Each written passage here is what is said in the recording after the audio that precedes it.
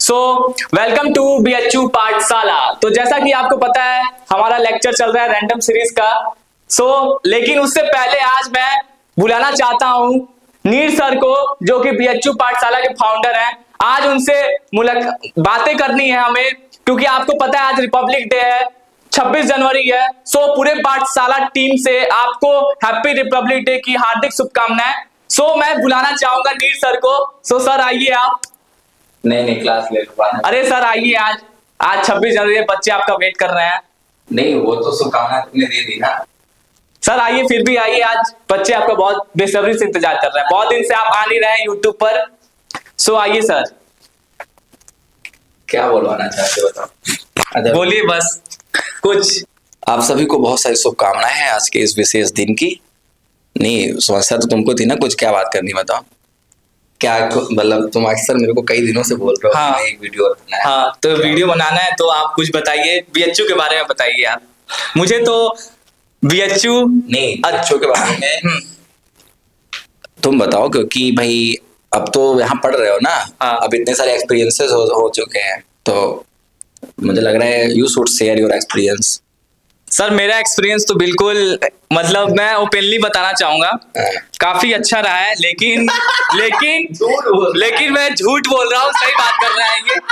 मैं झूठ बोल रहा हूँ क्योंकि मतलब मैं बता हो जाओ। मेरे को जब भी लेक्चर शूट कराने आपके आर्यन सर आते हैं एक ही सेंटेंस बोलते हैं कि सर प्लीज़ आप चलो ना। पहले सबसे पहले तो ये बोलता है कि सर आप मेरा गलत जगह एडमिशन सजेस्ट कर दियो मैं फंस गया यहाँ आगे तो मैं बोलता हूँ भाई किसी को मिलता नहीं तो बी एच मिल गया अब तो बहुत और ऊपर से बहुत नॉलेजबल भी है मैं तो उसका जानता भी हूँ।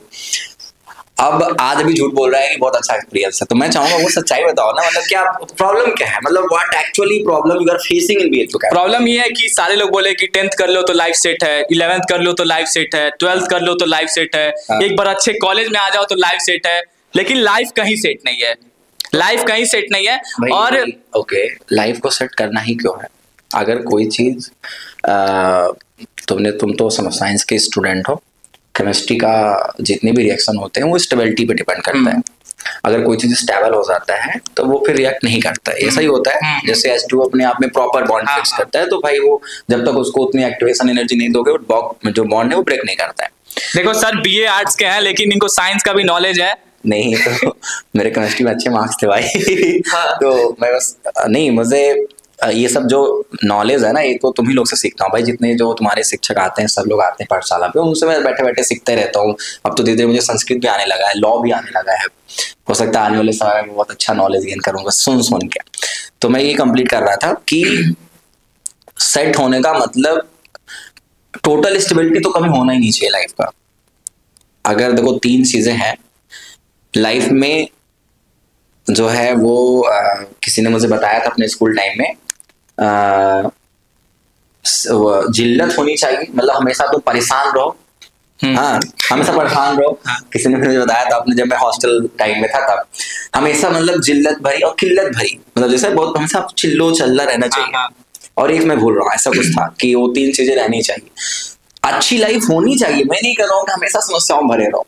लेकिन अब जब तुम मेरे से बात पूछ ही रहे हो कि बीएचयू में क्या गड़बड़ियाँ हैं तो बीएचयू में गड़बड़ियाँ हैं लेकिन हमारे पास बेटर ऑप्शन भी नहीं है। जैसे कि हम लोग जब अभी प्रधानमंत्री चूज़ करने की बात करते हैं हम्म। तो हमारे पास बेस्ट ऑप्शन है नहीं। कभी कभी क्या होता है कि लंबे समय तक हम बेस्ट ऑप्शन को चूज़ भी नहीं कर पाते हैं। मे भी हमारे और जो भी अपोजिशन में बहुत अच्छे अच्छे पर्सनैलिटी है मे भी अच्छे प्राइम मिनिस्टर बन सकते हैं। लेकिन हम अभी उस फ्लो में हैं कि बनाना भी नहीं चाहते हैं। नहीं हमारे पास पीएम मोदी है तो मोदी जी को देखना है। हम्म। उसी तरीके से बीएचयू भी एक अपने आप में स्टार्टअप है ब्रांड है। नहीं हमें बीएचयू चाहिए। और सही मायने में मैं तो बता दूँ बाकी यूनिवर्सिटीज की स्थिति और खराब है। अच्छा। अब तुम इसलिए इतना ज़्यादा सफ़र कर रहे हो ना। मैं बार बार अब एक बात वीडियो हो सकता है पब्लिक भी चली जाए क्योंकि हम्म। बात हो ही रही है। अब जी जो चीज़ें फेस कर रही हो सकता है बहुत सारे लोग फेस कर रहे हैं क्योंकि मुझे वो कमेंट में आता है कम्युनिटी में आता है एक दो बच्चियाँ तो इतनी डेयरिंग है कि उन्होंने मुझे सीधे सीधे बोल दिया, आपने मेरा एडमिशन गलत करा दी तो आपको तुम्हें सच्चाई बता देता हूँ।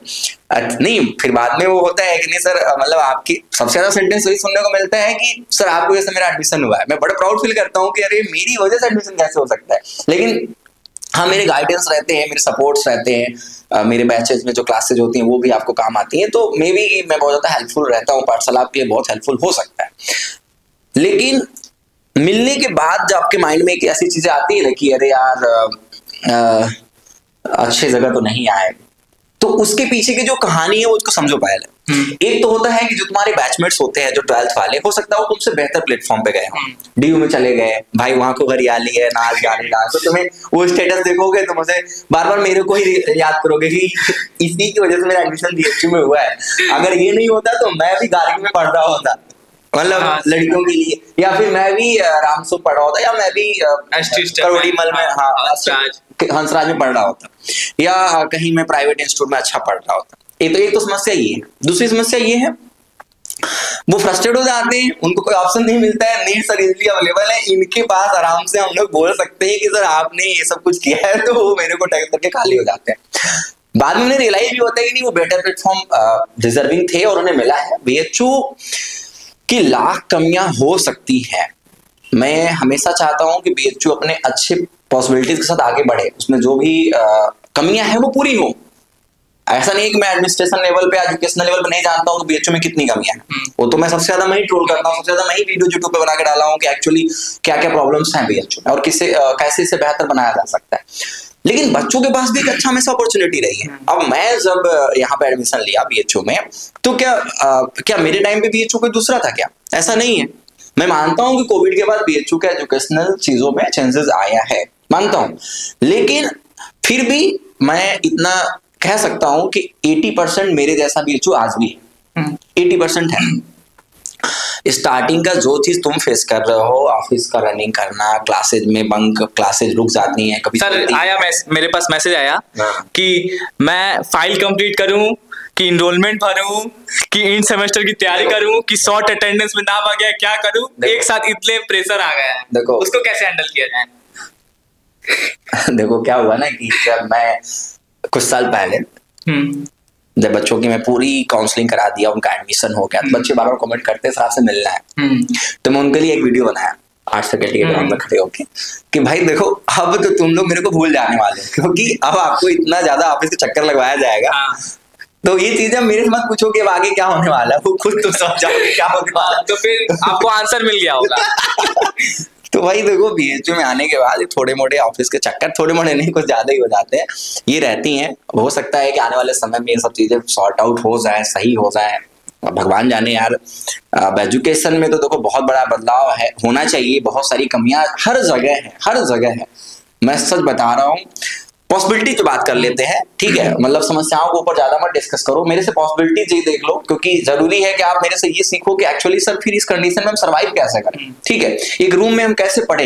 एक रूम में कैसे इन्वायरमेंट बना लें कि हमें फिर ये बात बार फ्रस्ट्रेशन ना फील हो कि हम गलत जगह आ गए?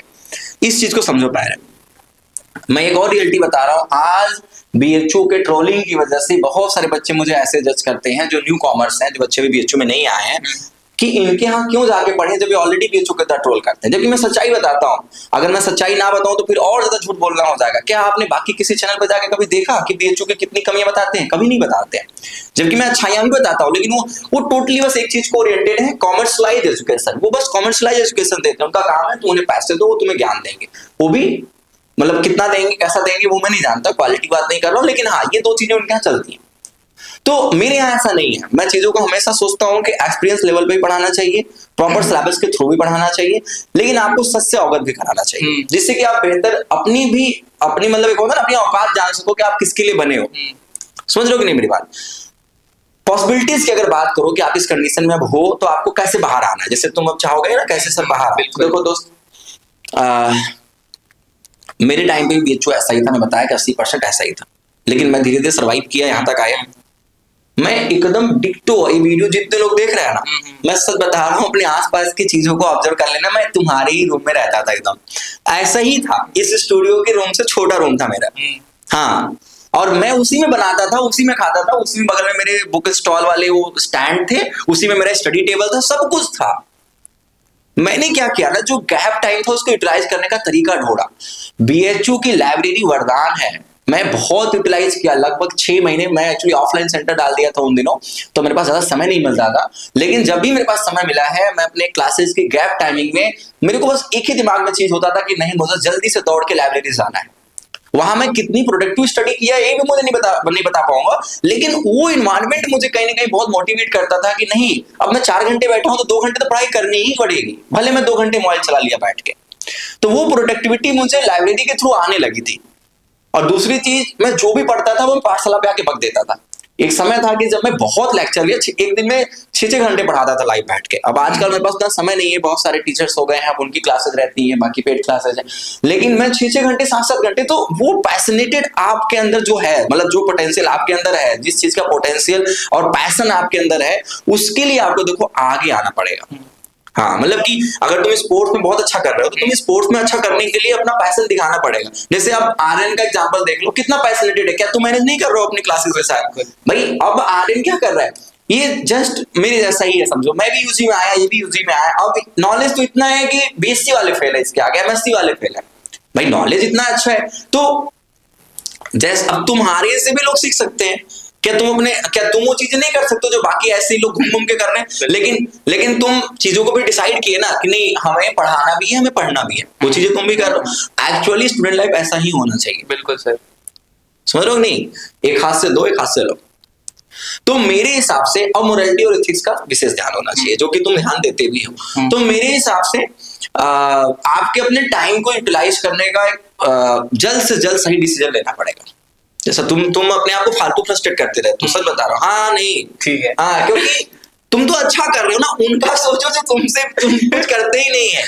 मैं किसी को देखो वो ट्रोल नहीं कर रहा हूँ। भाई देखो सब मेरे मतलब स्टूडेंट हो बड़ा प्यार है हम्म। और बहुत रेस्पेक्ट है। हम्म। भाई एक्चुअली मैं उन तमाम यूट्यूब चैनल्स पे जो मेंटर है उनसे थोड़ा अलग इसलिए हूँ क्योंकि मेरे पास बच्चे आते ज़रूर हैं। अपनी प्रॉब्लम लेके आते हैं। आए दिन आते भी तुम लोग के शॉर्ट अटेंडेंस के कुछ मुद्दे हैं शॉर्ट अटेंडेंस वाले मुझे कल के मैसेज आ हुए तो बच्चे मेरे पास आते ज़रूर है और इतना ही नहीं कुछ बच्चों के सीधे सेंटेंस होते हैं सर आप ही हो जो कर सकते हो। अब बात अलग है कि वो बटरिंग करके करवा लेते हैं मेरे से या जो भी है। तो मेरे से अपना सोल्यूशन निकलवा लेते हैं। और मैं करता भी हूँ चाहे आपके किसी भी जो एजुकेशनल प्रॉब्लम्स है मैं उसका सोल्यूशन दे देता हूँ। तो भाई टाइम मैनेज करना पड़ेगा। और मैं जैसा बताया ना कि समस्याओं से भरा हुआ जीवन लकीस्ट पर्सन को मिलता है। बिल्कुल। सच बता रहा हूँ क्या मेरे पास समस्या नहीं है? कोई इमेजिन भी नहीं कर सकता लेकिन हर कोई है भाई मैं शायद मेरे से ज़्यादा समस्याओं में कोई जो वीडियो देख रहा है वो हो सकता है। हम्म। अब व्यक्तिगत रूप से कौन कितने प्रॉब्लम्स में कोई किसी को नहीं जानता ना क्योंकि बता नहीं रहा किसी को। लेकिन हाँ चीज़ें अगर मुस्कुराती हुई नज़र आती है कैमरे पर तो अच्छी नज़र आती है हाँ, अच्छी है सब बढ़िया चल रहा है। तो भाई ठीक है आपको भी एक्टर बनना पड़ेगा। हम्म, बिल्कुल। हाँ पढ़ाई का एक्टर बन जाओ चीज़ों को पैसन से पढ़ो कि हाँ इसको अपने छोटे भाई बहन घर में दिखाना है। इस इस इस मेंटेलिटी से पढ़ो। अब तुम्हारे पास केमिस्ट्री फिजिक्स बायोलॉजी का इतना बढ़िया नॉलेज है। आने वाले जस्ट तुम अगर अपने आप को चार साल, पाँच साल में इमेजिन करो, तुम बारूद रहोगे, तोप रहोगे, तुम्हारे आगे को टिकेगा क्या?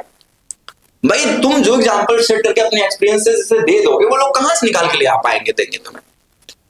उसी तरीके से आप बस ड्राइंग का बहुत पैसन है, आप ड्राइंग भी करो।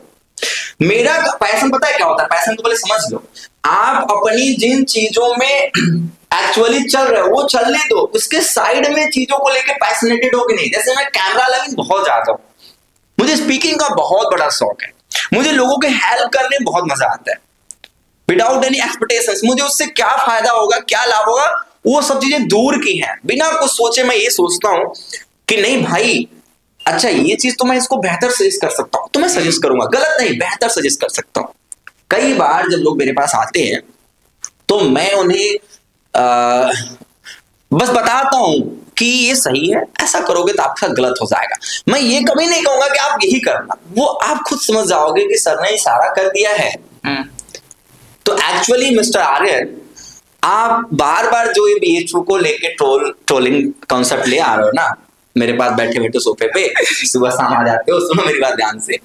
सुन लो मेरी बात। हाँ, बिल्कुल मैं साथ में सुन रहा हूँ। हाँ तो बी के लिए पॉसिबिलिटी मन में लाओ। बी एक बेहतर प्लेटफॉर्म है। आप जितना फ़ायदा ले सको ले लो। मतलब भी बन जाओ थोड़ा सा आप यहाँ के किसी भी इंफ्रास्ट्रक्चर को डैमेज मत करो। क्या अभी जो रिज़ल्ट नहीं आते अभी पता है कि नहीं? अभी इसमें फ़र्स्ट रैंक आया है बीपीएससी में बीएचयू से फ़र्स्ट रैंक मेरी बैचमेट फ़र्स्ट रैंक लाई है भाई। वाह।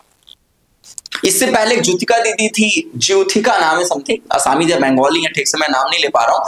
वो दी भी टूरिज़्म में आई थिंक यूपीएससी कराता है फ़र्स्ट रैंक लाई थी बीएचयू से है।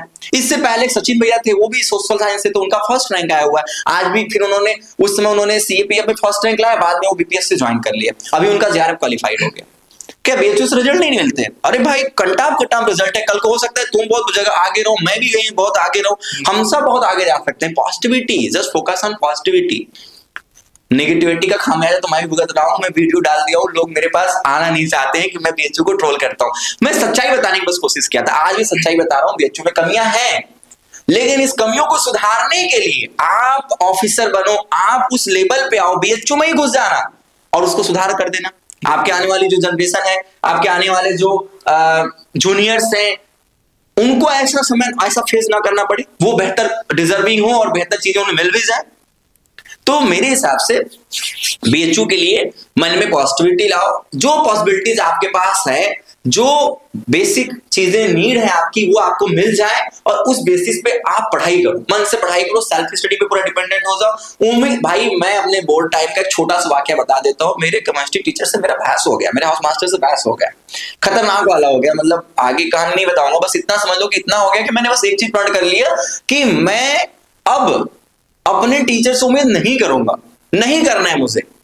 भाई वो जानते हो टीनेज में तो और ज़्यादा ब्लड अलग ही वाइल्ड रहता है वो अलग ही गुस्सा वाला रहता है बहुत ही घमंड बोल लो। तो उस समय डिसाइड किया मुझे नहीं जाना है उनके पास। और मैं 90 प्लस लाया।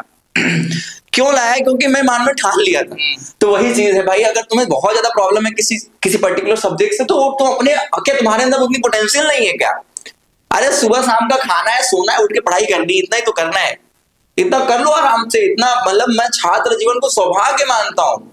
ये सौभाग्य है, ये आपका अहोभाग्य है कि आपको बनारस मिला, आपको उसमें भी काशी विश्वविद्यालय मिला। यहाँ तो आठ आठ, नौ विश्वविद्यालय हैं। महात्मा गांधी है हरिश्चंद है, यहाँ पे यूपी कॉलेज है, यहाँ पे तो इतने सारे कॉलेजेस हैं। लेकिन आपको विश्वविद्यालय में बी बीएचयू विश्वविद्यालय मिल गया क्या चाहिए आपको जीवन में? बहुत आगे जाओ, बहुत आगे जाओ, बहुत सारी शुभकामनाएँ मिस्टर आर्यन और इनके जितने भी सहपाठी वीडियो को देख रहे हैं रैंडम टॉकिंग हो गया। रैंडम टॉकिंग हो गया, और मैं बहुत शुभकामनाएँ देना चाहूँगा सर को कि बहुत सारे लोग प्रॉब्लम से फेस कर रहे थे, और सर ने कुछ चीज़ें बताई हैं, और आई होप आपने उस लेक्चर को अच्छे से सुना है, और आई होप आप उस चीज़ों को अच्छे से सुन रहे हो। आपको पता है कि उस शख्स को कोई गिरा नहीं सकता उस शख्स को कोई गिरा नहीं सकता है जिसने चलना ही ठोकरों से सीखा हो। तो सर की गलती से सीखी आपने सर ने जो चीज़ें फेस की है वो हाँ। चीज़ों को डायरेक्ट हमने बताया है और वो चीज़ों को आप सीखिए। तो मैंने आपको लाइन भी बोला है तो आप उसको अच्छे से सुनिए और टाइम मैनेजमेंट करिए जैसा कि सर ने बोला है। बहुत बहुत सारी शुभकामनाएँ हैं। बहुत अच्छा लगा। आ, मेरी बहुत सारी गलतियाँ हैं जो मैं आने वाले समय भी लोगों को बताऊँगा जिस लोगों को सीख मिलेगी। हंड्रेड परसेंट बहुत अच्छी बात ठीक है सर। मुस्कुराते रहिए हर हर महादेव चैनल को सब्सक्राइब करिए और पाठशाला पे सारे लेक्चर चल रहे हैं फ्री लेक्चर चल रहे हैं और पेड कोर्सेज भी आ चुके हैं। सो नंबर डिस्क्रिप्शन में दिया है लिंक में दिया है आप उस पर कॉल करके जान सकते हो। और हाँ एक बात और बोल रहा था कि माइंड से तो भूल गया यार। नेक्स्ट वीडियो में बता दूँगा। नेक्स्ट वीडियो में बताएँगे। चलते हैं सर। ठीक है मुस्कुराते रहिए हर हर महादेव